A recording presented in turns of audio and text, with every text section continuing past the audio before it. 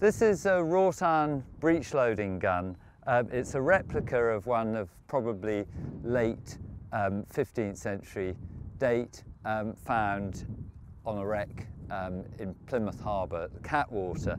And we're going to demonstrate firing it without a projectile, but in other respects, um, possibly in the way it would have originally been fired.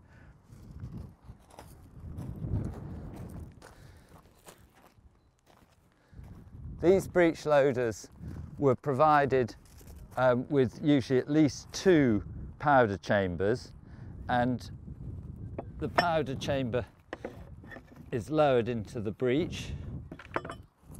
The ball would of course have been put into the barrel before putting in the powder chamber. So I put the powder chamber in. I like to make sure that it's, it's lined up and with the vent or touch hole at the top and it looks as though the taper at the forward edge is presented well to the barrel.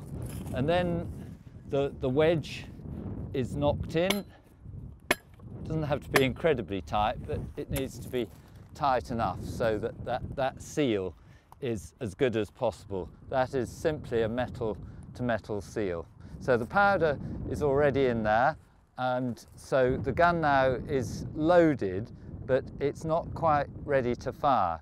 The priming powder has to be put in and then it's ignited with a slow match.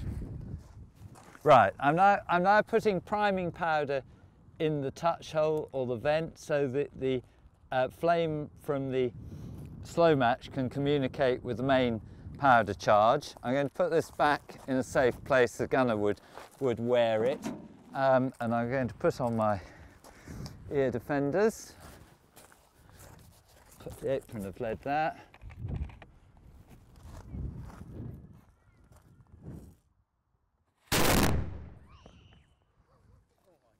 Excellent.